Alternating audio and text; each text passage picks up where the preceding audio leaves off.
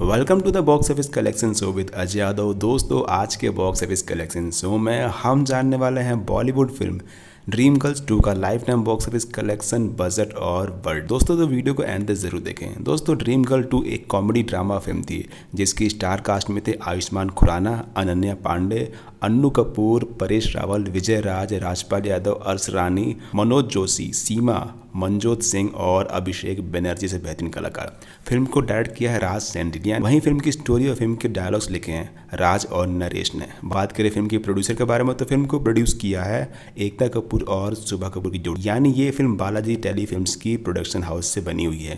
Film का music है मीत पुरुष और तनिष्क बागजी का। फ़िल्म का बैकग्राउंड स्कोर है हितेश और सोनिक। का और बात करें फ़िल्म के गाने के बारे में तो दोस्तों इसमें टोटल पाँच गाने रखे गए हैं और पाँचों के पाँचों गाने कुछ खास तो है नहीं। दिल का टेलीफोन काफ़ी अच्छा है। फ़िल्म के गाने लिखे हैं शान यादव और कुमार ने। वहीं फ़िल्म की लेंथ यानी फ़िल्म की जो ड्यूरेशन है, वो है दो घंटे चौबीस मिनट की आसपास की।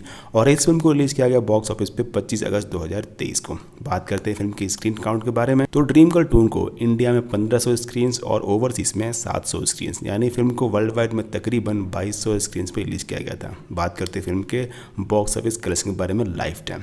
तो दोस्तों, फ़िल्म ने लाइफ टाइम कमाएगी इंडियन बॉक्स ऑफ़िस पर इंडिया में नेट 102 करोड़ बहत्तर लाख रुपये और फ़िल्म का वर्ल्ड वाइड कलेक्शन था 138 करोड़ 60 लाख रुपये साथ ही फ़िल्म का बजट है 42 करोड़ और फ़िल्म को बॉक्स ऑफ़िस पर सुपरहिट की वर्डिंग मिल चुकी है। दोस्तों, वीडियो पसंद आए तो लाइक करें और अपनी डिमांड कमेंट करें। Thanks for watching